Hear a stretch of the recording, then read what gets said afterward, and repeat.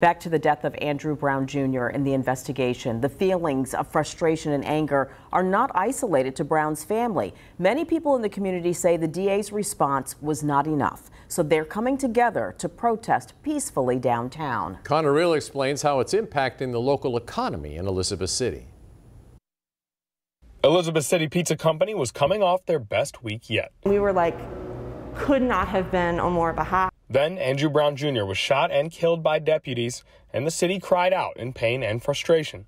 When you see it happen in the, the big cities, it seems so um, distant. You know, you feel for the families, you try to understand why this happened, but it was very distant. So when it happened here, it was like, so what are, what are we supposed to do? Kendall Taylor owns Elizabeth City Pizza with her husband. What they did was shut down for a day.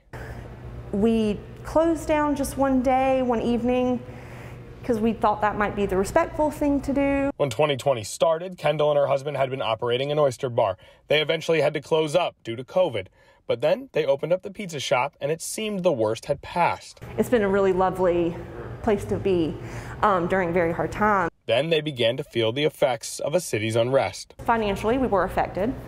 Um, you know, we lost a lot of business because, you know, people not sure what to do, not sure whether to come downtown. It seemed like the worst was yet to come with a collective initiative to not spend money in Elizabeth City on Wednesdays. Then Wednesday started. We were really busy. You know, people just want answers, but they also still want to support the small businesses and they want to support their friends and they want. I'm Connor Rhiel, 13 News Now.